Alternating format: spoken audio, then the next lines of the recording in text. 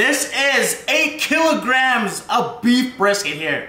We're gonna make pho and we're gonna trigger a lot of barbecue fanatics. Here we go, ladies and gentlemen. We got a very big pot here. So this big pot right here, it's just water, maybe eight liters of water. After that pho challenge, some of y'all probably thought I'm very like, uh, had enough with pho, but I still can go for a bowl.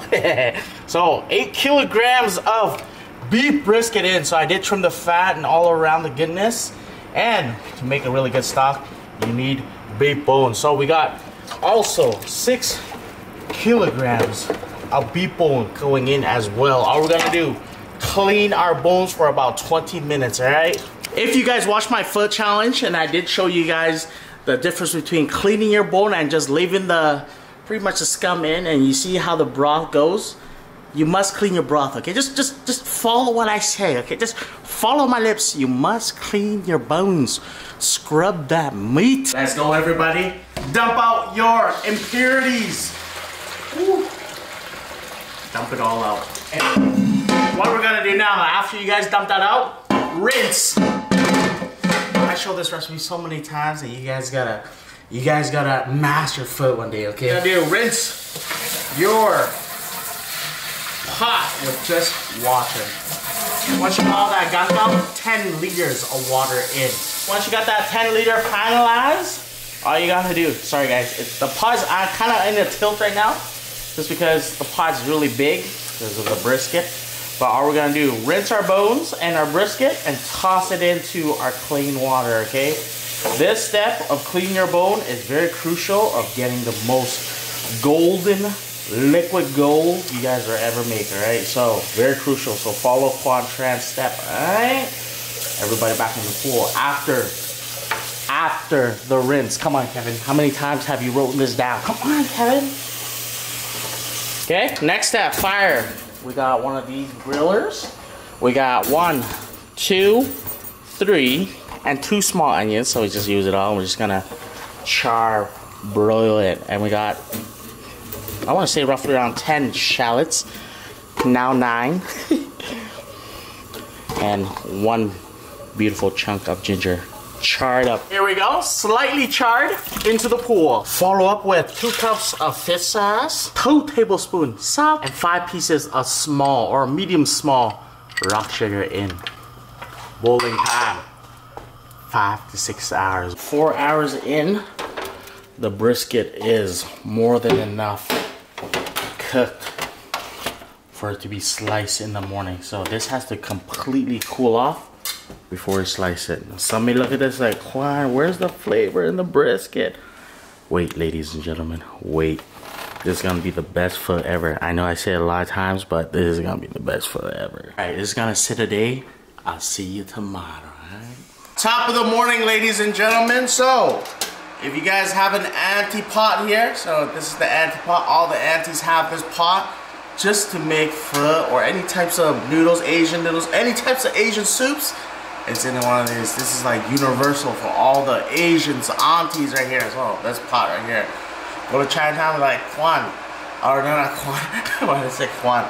Tell the cashier or the clerk, be like, hey, take a picture of it. Take a picture of this. Look, take a picture of it. Take a picture of it. to the clerk or the cashier, I need one of these auntie-pots. Okay? It's gonna upgrade your Vietnamese soup 10 times more. Alright, so broth is still a little warm. It's still all good. Filter that liquid gold, my friend.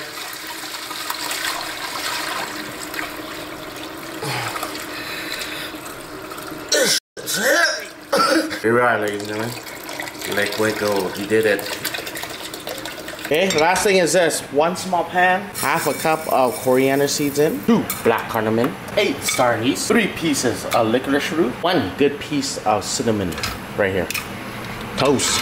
Nice and toasty. We're just gonna dump this in and leave this in for about 10 minutes, okay? You can leave it on longer, but I just want slight, not slight, just little essence of it, okay? I want more of the beef taste rather than uh, the aromatic. So you can leave it in longer, right? So some of you guys be like, come on, you should leave it longer. No, you can leave it in longer, my friend. I'm leaving in 10 minutes. okay, can I get a moment of silence for this, please? This, my friend, is liquid gold. So, when you do cook pho, or this is beef brisket pho, there is gonna be a layer of fat right on top. All you gonna do is take your layer and just skim off some of that fat. If you want more fat, put the fat in. If you like less fat, take out the fat, alright? But just give me a minute for this, ladies and gentlemen. If you follow every step of the way, you will make liquid gold like Quang Tran, alright? Or like the Vietnamese people, or the Vietnamese auntie, okay? Beautiful. Ladies and gentlemen, the anticipation is here. So I even wrapped it up like I've been barbecuing it. So we got our bull brisket. Why am I laughing? Why am I laughing? Bull brisket pho is the best, or brisket pho is the best. of this way you, you make it. So rock hard, rock solid. Look, you look at this, you're like, wow, Kwan, you should just throw that away. No, no, you must follow the step, okay? Kevin, write that down. Okay, so you see the lines going this way. This is what we're gonna do. There's two pieces right here. We're just gonna follow this fat line here and we're just gonna cut it down.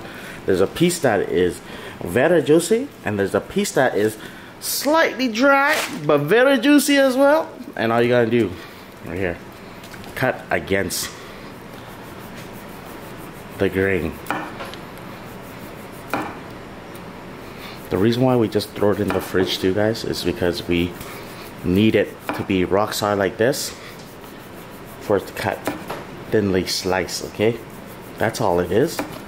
It might look dry, but when that Vietnamese pho, bruh, hit this, it's gonna be juicy. You know what I'm saying? Kevin, write that down. This part is more of a, how'd you say, less fat, more leaner cut of the brisket. This part of the brisket, more of a fattier one.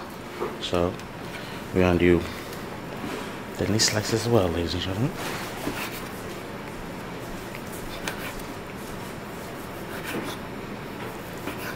Look at the juice running down. You might not see it yet. but when that Vietnamese broth hit it, it's gonna be amazing. Trust me, Alright then.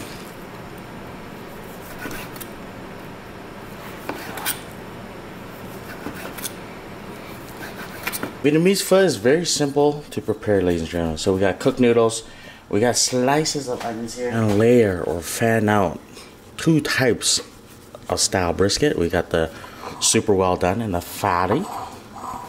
We got green onions on top. One sauce for this, please, Kevin. Please quiet down. Oh my goodness. Please, everybody, put down Amen. Amen in the comment section. There it is. Brisket pho. You cannot tell me this is what you don't want this Saturday. You want this this Saturday. It's time to go out and make it, my friend save some money. My beautiful wife. So, beef brisket pho. So I am using a new noodles. I'm actually tasting a lot of pho noodles. I'm trying to bring back the the memory of pho noodles, but uh, my wife's first time eating brisket pho. She eats a lot of my pho, but haven't tried my brisket pho. So these noodles, by the looks of it, it looks like it's breaking already. Hey. so I'm actually trying different, a lot of type different food because the food. Mm. Hot. Delicious. very good, my love. Yeah, very good. So these are the new uh, noodles I'm trying, my love. Give it a try. Uh, if you guys have a good brand noodles, please put it down there. The brand noodle I used to use, uh, kind of mushy now, so kind of looking for that old school feel. You know what? I'll open, I'll make my own noodles and see how it goes. What do you think of the noodles, my love? Mm. Is it good? Yeah. Is it good? Good. Really good? I was shocked too. Good. So, like Thai people, I'd say this. This this is a Thai brand. This is a Thai brand because a lot of Thai people like pad Thai and stuff. It's very chewy, and that's why I kind of like like chewy, like good texture and everything. So this is a Thai brand noodle. Try the brisket, my love. Look at that brisket. Whee! See that Vietnamese pho or broth that went on it? Now it's nice and melty and glistening. It's glistening. Hot. Hot. No, take your time, my love. Don't be like me and just eat and burn your tongue, right? Be careful.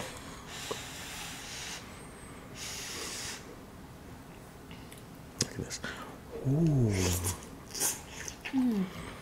Is that fatty? Yeah. Is it too fatty? Should I cut it thinner? Salty. Mm.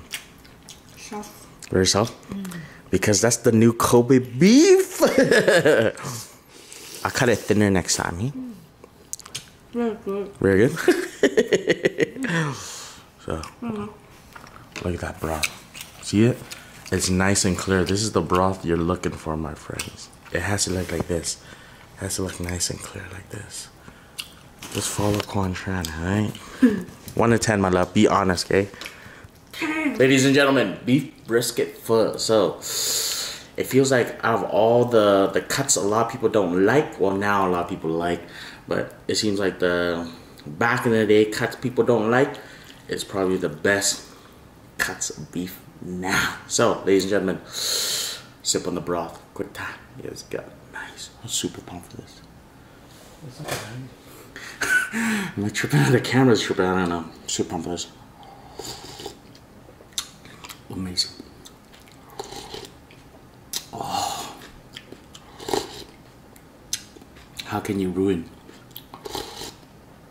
that broth with that hoisin and the sriracha? Put it on the side, ladies and gentlemen.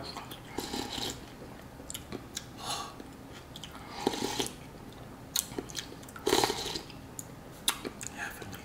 Heavenly. Okay. Piece of Quick time. got a nice, super this. Mm.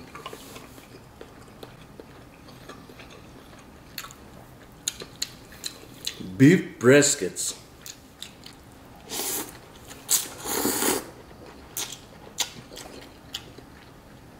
Ah.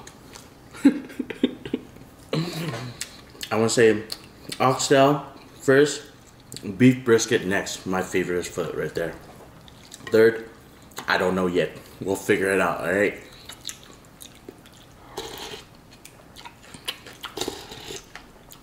That broth though. Heavenly. Okay. I got some sriracha and some hoisin on the side. Just a touch. Super. Mmm.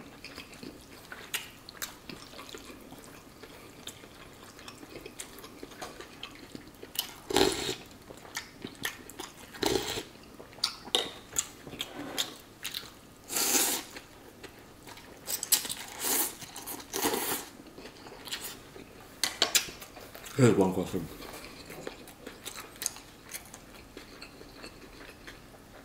Do you like my food recipe videos? If so, type down amen. Type down amen.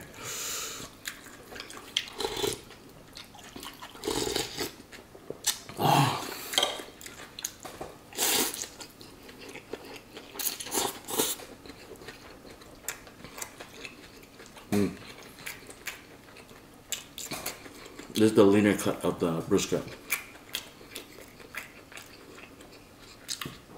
Let's go. Mm.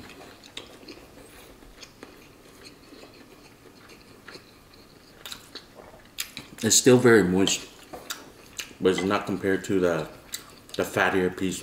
Either or, I like both texture wise.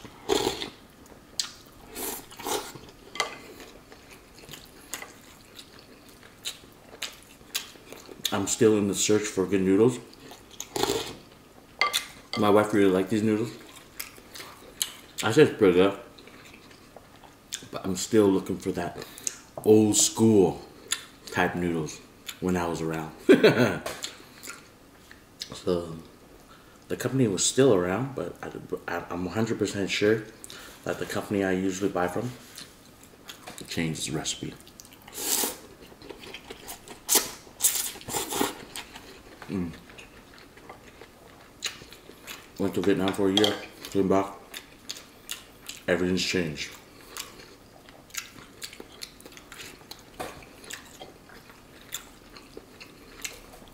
These noodles are good, but I don't like how it just breaks.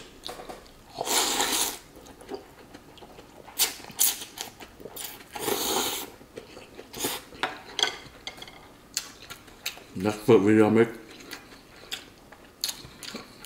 I'm making pho noodles by hand.